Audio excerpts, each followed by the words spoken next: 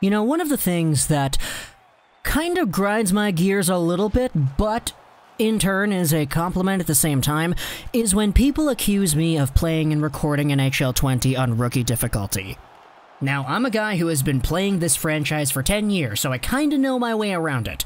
But the fact is, every gameplay that is not played against other people on this YouTube channel is on Superstar difficulty. There's no rookie going on when you see me pot 10 goals a game, it's just because I can pot 10 goals a game on the computer against Superstar. But a lot of that does have to do with the teams as well, because if you're playing with a stacked team, it is easier to score goals than when you're playing with a non stacked team. That's kind of why, while you're doing GM mode, there are certain strategies that you can use to pull off some trades, maneuvers, etc. to get yourself a good roster for cheap. It's what I did with my Canucks season. It's why we have Marner, McDavid, Matthews, Hughes, Hughes, Hughes, Pettersson, and Boeser all on the team at the same time, despite all of them being elite or franchise players. And this is a strategy that, according to Elliotte Friedman, might actually be involved with the Red Wings and the Lightning, according to his own personal beliefs. So, taking a look at the most recent episode of the 31 Thoughts podcast, Friedman was talking about the Tampa Bay Lightning. Now, we've spoken at length about the Lightning before. They're a team that only has about $5 million of cap space. But they're a team that has three quite notable RFAs to re-sign to contracts. They are Mikhail Sergachev, left-handed D, he's 22 years old. You have Erik Cernak, a left-handed D, he is 23 years old. And you have Anthony Cirelli, a very underrated two-way center, 23 years old here. He's a guy who honestly could become a Selke candidate one day, and his young career has been off to a very hot start, already getting himself a Stanley Cup. In fact, the same could be said for all of these other two guys as well. But the Lightning don't really have all too much money to shell out for these players, which is why the idea of an offer sheet for Sergachev, for Cirelli, and even for Cernak has come up in different fan bases across the NHL and their media sphere. So, this is what Friedman says in regards to the Lightning, their RFA situation, and the Detroit Red Wings on the most recent 31 Thoughts podcast episode. He says that people are convinced Julien Brisebois could trade one of the Lightning's RFAs to Detroit with a sweetener. Detroit would sign them, and then, a few months later, would trade the player back to the Lightning at a reduced rate with salary retained. Yeah, you know how I build my stacked NHL GM modes and franchise mode? You take a player, he's very expensive, you trade him away to another team and you say, okay, we're going to take a whole bunch of stuff back. Like, my Elias Pettersson has been traded about 20 times so far in my season mode, but he's only played for Vancouver because we're always trading back for him using a franchise goalie we drafted in the third round as a sweetener, and we take him back at 50% salary retained. That's kind of the get rich quick, technically not really cheating, but sorta is cheating kind of way to build a very stacked franchise mode team but it's a strategy that I have been growing up using and believing, yeah, no, this is just a video game thing. Like, there's no way this would actually happen in real life. Right? Well, here's a little bit of a connection over here first and foremost, because in order for something like this to happen, what the Red Wings would essentially be doing is straight up just helping out the Lightning. There's no ifs, ands, and buts about it. You're doing this to benefit not only your team by acquiring assets, but the Tampa Bay Lightning as well. You're doing them a favor. And for the most part, I honestly think that it makes sense here because obviously Steve Yzerman, former Lightning guy, he was the guy who kind of built this team. Julien Brisebois kind of added the finishing touches with Barclay, Goodrow, Blake Coleman, etc. But the real bread and butter in acquiring a lot of this stuff happened before that. So if there's any team out there that Julien Brisebois can go to and say, hey, if we trade you Mikhail Sergachev and we include a draft pick, would you be able to re-sign him and send him back to us for salary retained for even more stuff? How does that sound, Stevie Y? And because Steve Yzerman of the Red Wings doesn't really care that this is a move that helps out the Lightning, because hey, the Yzerman team, they want their own team to benefit in this situation, then hey, okay, give us a draft pick. We don't really care if a move like this makes you guys even more stacked for the next three or four years, because that's not even our timeline of success anyway. We're supposed to be bad for the next few years. So if the Lightning are giving us a deal where we benefit long term and they benefit short term, then it's okay.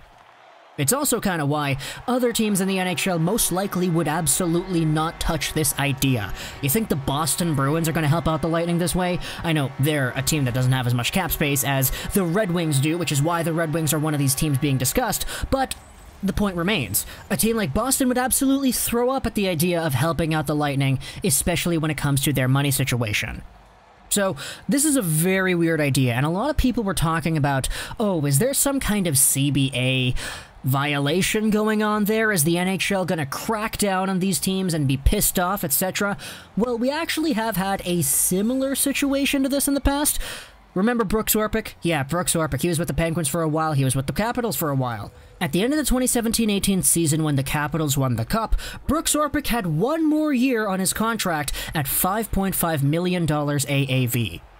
The Capitals weren't in a position where they would have been able to keep that. So what they did was they traded Orpik over to the Colorado Avalanche, where Joe Sakic sat him down and he said, We're going to try to get you another team here. We're going to give you an opportunity to continue to play hockey and eventually continue on.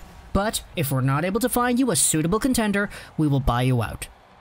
They bought him out and the Washington Capitals afterwards signed Orpik once again a month after they traded him to a $1 million contract. And if you do the math, something about the AAV and the money actually being repaid, because when you do get bought out, you still get paid if you're the player, Brooks Orpik was only really losing out on $500,000 a year because of the new contract he got from the Capitals, as well as the Colorado Avalanche still paying him for buying out his contract beforehand.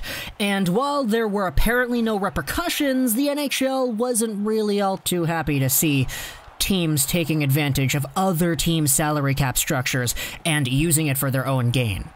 It's not exactly the same situation, I get that, but it's a very similar vein where one team is using another team's cap space to benefit themselves. We don't usually see things like this happen where teams kind of close themselves off in a box and benefit mutually there separately from the entire league, in what appears to be an agreement of some sorts. Because this kind of thing is very unique, but it does align with what exactly Yzerman was talking about before in his interview that we highlighted in the video talking about the plan in general. That video noted how Yzerman wants to go after teams that don't really have all too much cap space, but need more cap space to sign some guys. He didn't say it directly, but he said it by proxy that they were probably just gonna take advantage of teams like that. He said he didn't want to say they're taking advantage, but pretty much that's what they're doing by acquiring players from other teams that either cost money and acquiring assets in the process, like picks and prospects, or Something else like what Friedman is hinting at is indeed an alternative, where, for example, the Red Wings trade a second round pick to the Tampa Bay Lightning in exchange for the negotiation rights to Mikhail Sergachev. Then they sign him to a contract, and then they trade him back to the Lightning with 50% retained salary in exchange for that second round pick that they gave originally, as well as maybe a first or maybe a good prospect or two, maybe a few picks, something like that. So at the end of the day, the Tampa Bay Lightning, they sacrifice some of their future because draft picks, prospects, hey, they're going over to Detroit, but they keep the same players on their lineup from their cup winning team. So it's a symbiotic relationship here because even though Detroit has taken the fall, they're still getting themselves some stuff back. And for the Lightning, even though they're getting their player on a cheaper deal, they're giving up some of their assets. So I'd be really interested in seeing if something like this is actually able to go down. Obviously, if I had to make a bet, if I had to choose myself and say, okay, is it going to happen? I would probably say no because that's a very liberal set of moves here, especially in today's NHL. And while I don't doubt that some of the very low cap teams in the league, like Ottawa, like Detroit, like LA, etc., are going to try to make these moves to take advantage of the cap space they do have in the short term while the flat cap is installed. I'm not sure if this very specific idea is one that I would see happening. Obviously, though, if it does, my goodness, that would be absolutely incredible. Seeing Sergachev and Cirelli and Cernak, maybe one, two, or three of those all going to Detroit, and then having Detroit hold a part of their contract for the next few years. That'd be really weird, but if you want to talk to me in the comments about this idea, definitely. I love to hear all that stuff, and I love to read your responses. I hope you enjoyed this video. Troll99, and bye.